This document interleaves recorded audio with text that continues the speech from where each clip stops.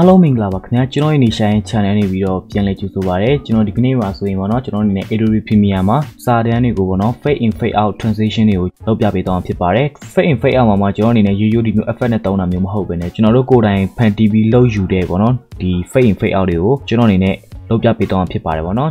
Okay ဒါဆိုရင်ကျွန်တော်အနေနဲ့ဘယ်လိုမျိုးပုံစံလဲဆိုတာကိုကျွန်တော်နမူနာလေးနဲ့ကြည့်ကြအောင်ပေါ့နော်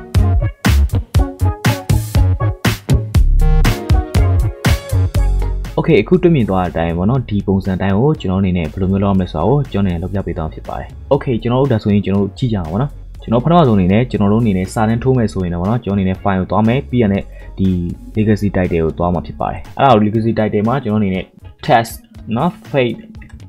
ထားပါဆိုကျွန်တော်အနေစာလုံးကြီးနဲ့ရေးလိုက်မယ်နော် tab fade လို့ပဲကျွန်တော်နာမည်ပေးပြီးတော့ဒီကြားထဲမှာလည်းတူတူပဲကျွန်တော်အနေနဲ့ဒီ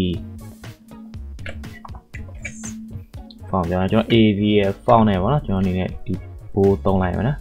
ကျွန်တော်အဲ့မှာမှာကျွန်တော်အနေနဲ့ဒီတူတူပဲကျွန်တော်အနေနဲ့ဒီ test and fade ပေါ့နော်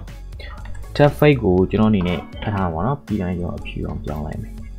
okay ပြီးရတယ်ကျွန်တော် center မှာထားလိုက်တယ် okay ပြီးပြီး data နမူနာပဲပေါ့နော်ကျွန်တော်အနေနဲ့ရေးချင်တဲ့စာလုံးရေးတယ်ပြီးရတယ်ကျွန်တော်ဒီ project မှာကျွန်တော်ယူပြီးတော့ကျွန်တော်ဆွဲထည့်မှာပေါ့နော်အဲပြီးသွားတဲ့ခါမှာကျွန်တော်အနေနဲ့ဒီစာတန်းကိုပေါ့နော်ကျွန်တော် ဒီထက်ပေးကြည့်ချင်လည်းရတယ်သေးချင်လည်းရတယ်ပေါ့နော် okay အဲ့ဒါဆိုရင်ကျွန်တော်အနေနဲ့နောက်ပြီးတစ်ဆင့်ပါသွားမယ်ဆိုရင်တော့ဒီတစ်ခါကျွန်တော်တို့က effect control မှာအလုပ်လုပ်ရမှာဖြစ်ပါတယ်အဲ့ဆိုရင်ကျွန်တော် video play တစ်ချက်နှိပ်လိုက်ပါပြီးတာနဲ့ကျွန်တော်အနေနဲ့ effect control ထဲဝင်ပြီးတော့အလုပ်လုပ်ရမှာဖြစ်ပါတယ်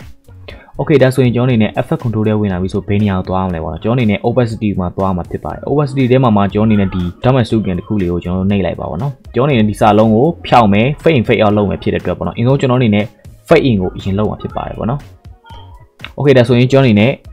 ဒီ domain student ကိုယူလိုက်ပြီးဒါဆိုရင်သူ automatic select မှတ်ထားလိုက်ပြီကျွန်တော်အနေနဲ့ဒီနေရာသွားရင်တော့သူပြောက်သွားမယ်ပြောက်သွားမယ်ပေါ့နော်ကျွန်တော်ဒီအားကြောင့်ကျွန်တော်အနေနဲ့နေရာပေးယူထားမှာပေါ့နော်โอเคထားပါလို့ဒီလောက်လေဘာမှမဖြစ်ဘူးအတိအကျမှန်ရမယ်ဆိုပြီးတော့မရှိဘူးပေါ့နော်ကျွန်တော်အနေနဲ့โอเคလွတ်တလောက်ပေါ့ဘာဖြစ်လဲဆိုတော့ကျွန်တော်အနေနဲ့ဒီလိုမျိုးသွားမှာဖြစ်တယ်ပေါ့နော်အဲဆိုရင်ဒီအနေထားရှိမှာပေါ့နော်ထားပါစို့အဲဆိုရင်ကျွန်တော်အနေနဲ့ဒီမှာ UF ဒီမှာပေါ့နော်ကျွန်တော်အနေနဲ့ဒီကောင်နှိပ်လိုက်ပြီဆိုတာနဲ့ကျွန်တော်အနေနဲ့ match တစ်ခုကိုရလာမယ်အဲ့ချိန်မှာကျွန်တော်အနေနဲ့ကဒီ animation token နဲ့အလုပ်လုပ်အောင်ဖြစ်ပါတယ်အဲ့ချိန်မှာကျွန်တော်ဒီအနေထားလောက်ထားမယ်သူ့အနေနဲ့ကဒီလိုမျိုးအနေထားအနေထားနေပြီးတော့ fade in ဖြစ်လာမှာပေါ့နော်အဲ့ဆိုရင်ကျွန်တော်အနေနဲ့ဒီနေရာမှာမူရင်းရဲ့အနေထားမှာကျွန်တော်အနေနဲ့ဒီ match pass မှာကျွန်တော်တို့အဆက်လေးကိုနှိပ်လိုက်ပါဒီ token animation ကိုနှိပ်လိုက်ပဲဒါဆိုရင်သူ့အနေနဲ့မူရင်းနေရာပါဒါပဲဖြစ်မယ်အနောက်ဆုတ်မယ်အနောက်ဆုတ်ပြီးရတဲ့ကျွန်တော်အနေနဲ့ဒီ mask လေးကိုပေါ့နော်ကျွန်တော်အနေနဲ့အနောက်ဆွဲလိုက်မယ်ပေါ့နော် okay ဒီနေထားတော့ထားပါစို့အဲဆိုကျွန်တော်တို့သိသိတာပါနော်ကျွန်တော်အနေနဲ့ play ကြည့်မှာပါနော် okay အရန်မြန်တယ်ဘာဖြစ်လဲဆိုတော့ဒီ anime ဒီ token animation အလုံးလေးတွေကအရန်နီးနေတာပေါ့နော်အဲဆိုရင်ကျွန်တော်အနေနဲ့ဖြည်းဖြည်းလေးပေါ့နော်အဲဆိုဖြည်းဖြည်းလေးဒီပွင့်လာတယ်ပေါ့နော်အာဘာကြောင့်သူ့အနေနဲ့အခုကျွန်တော်ကြည့်တယ်ကစားအရန်ကြီးကြည့်လို့မကောင်းဘူးပွင့်လာတာဒီလိုမျိုးပဲပေါ့နော်မသိရင် slide show လုပ်တဲ့ပုံစံလိုမျိုးပဲဒါပေမဲ့ကျွန်တော်အနေနဲ့ကဒီ soft ဖြစ်အောင်ပေါ့နော်ဒီကြည့်တဲ့အခါမှာပေါ့နော်မမိန်လေးနဲ့အမျိုးပုံစံမျိုးနဲ့လုံးမှာဖြစ်တဲ့အတွက်ပေါ့နော်ကျွန်တော်အနေနဲ့ဒီ mask ဒီ feather မှာပေါ့နော်ကျွန်တော်အနေနဲ့ဒီကောင်ကိုတင်လိုက်ရပါတော့အာဥမာ300လောက်တင်လိုက်ပါပေါ့နော်300ပဲဖြစ်ကိုကြိုက်တဲ့လောက်ပေါ့နော်ကြည့်လို့ကောင်းတဲ့အနေထားမှာအဲဆိုကျွန်တော်အနေနဲ့ play တဲ့ခါမှာပေါ့နော် okay ကျွန်တော် play ကြည့်တော့အဲ့ဒါအဲ့လိုဆို fade ပြီးတော့ထွက်လာတာပေါ့နော်အဲ့ fade in မှာမှသူအနေနဲ့ပေါ့နော်လုံးဝဟို soft ဖြစ်တယ်ပေါ့နော် okay ပို့ပြီးတော့ကြည့်ရတာအသက်ဝင်တယ်ပေါ့နော် okay တူပဲဒါဆိုရင်ကျွန်တော်တို့ fade out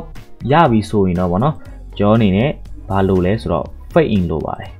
ကျွန်တော်အနေနဲ့ fade in ပြီးပြီဆိုတော့ fade out ကိုလောက်အောင်ဖြစ်ပါတယ်ဗောနော် okay ကျွန်တော်ဒီနေရာမှာနည်းနည်းလေးဗောနော်ဟွန်းဟွန်း okay ထားပါတော့အဲဆိုရင်ပို့ပြီးတော့ကြည့်လို့ကောင်းသွားတယ်ဗောနော်ကျွန်တော်အနေနဲ့နည်းနည်းဆွဲကြည့်လိုက်မယ်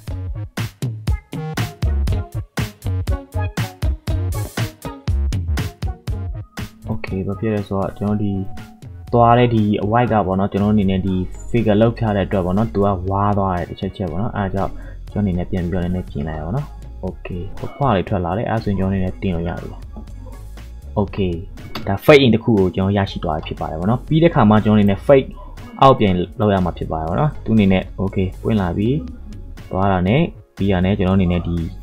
ပုံမှန်နေထားမှာပေါ့နော်ကျွန်တော်ဒီကောင်ကိုပြန်နှိမ့်မယ်တစ်ချက်ပြီးတဲ့ခါမှာကျွန်တော်အနေနဲ့ဒီ mask ကို အာဆွဲသွားပါတော့။ Okay ဒီလောက်ဆိုပဲထားလိုက်ပါတော့။အဲဆိုရင်ကျွန်တော်အနေနဲ့စပြီးတော့ play လိုက်မယ်။ Okay ပွင့်လာပြီ။ဒီနေထားနဲ့ရှိနေမယ်။ပြီးရတဲ့ပြန်ပြီးတော့ fade out ပြန်ဖြစ်သွားမှာပေါ့နော်။ okay အရန်နေနေတဲ့အတွက်ကျွန်တော်နေနည်းနည်းလေးပြန်ဆွေးလိုက်ပါတော့အဲဆိုရင်သူကအရင်လည်းမမြင်ဘူးကြည့်လို့ကောင်းတဲ့အနေအထားမှာရှိပါတယ်ဗောနော် okay ဒါကတော့ကျွန်တော်အနေနဲ့ဒါ fade in fade out ဗောနော်ဒါဒီကျွန်တော်ရဲ့စာတန်းတွေကို fade in fade out transition ကိုကိုယ်တိုင်လောက်ယူတာပေါ့နော်ကျွန်တော်အနေနဲ့ပုံမှန်ဆိုရင်ကျွန်တော်အနေနဲ့ဒီ effect တွေမှာသွားပြီးတော့ပေါ့နော်ကျွန်တော်အနေနဲ့ video transition တွေမှာသွားတယ်ဒီ distort တွေမှာဒီ crowd distort တွေကျွန်တော်တို့သုံးတယ်တခြားသောဟာတွေကျွန်တော်သုံးတယ်ပေါ့နော်ဒါပေမဲ့ကျွန်တော်တို့ကိုယ်တိုင်လည်းဒီ